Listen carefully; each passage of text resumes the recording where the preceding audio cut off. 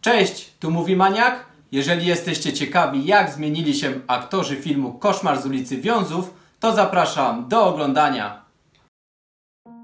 Koszmar z ulicy Wiązów to amerykański horror z 1984 roku w reżyserii Wesa Cravena.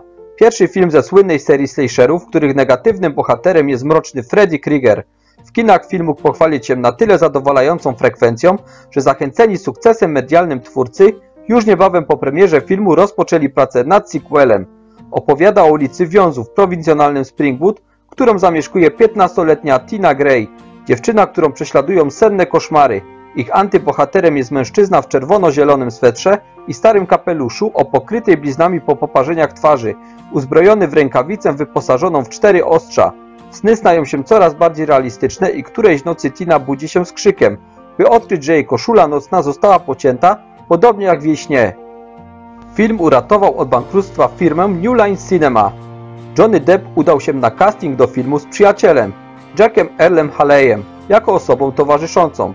Podczas castingu Jack został dostrzeżony przez reżysera Wesa Cravena, który zaproponował mu rolę Glena.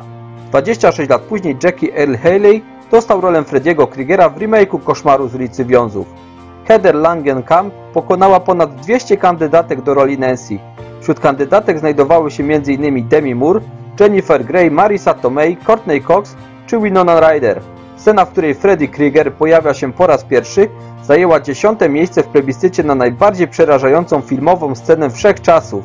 Plebiscyt był przeprowadzony przez jedną z brytyjskich stacji telewizyjnych w 2003 roku.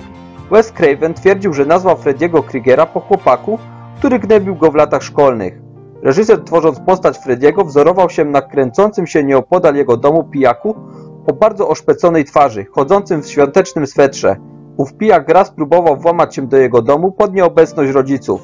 Do filmu użyto ponad 1900 litrów sztucznej krwi. Efekt iskrzenia rękawicy został osiągnięty poprzez dołączenie rękawiczki do akumulatora samochodowego. Słynny hałas skrobania został stworzony przez drapanie nożem do steku o spód metalowego krzesła. Zdjęcia do filmu trwały od czerwca do lipca 1984 roku. Remake filmu na ekranach amerykańskich kin zadebiutował w kwietniu 2010. Dzięki za obejrzenie. Pamiętajcie, aby kliknąć tutaj, aby być na bieżąco. Tutaj, aby zobaczyć inne moje filmy. A zatem do usłyszenia. Trzymajcie się. Cześć.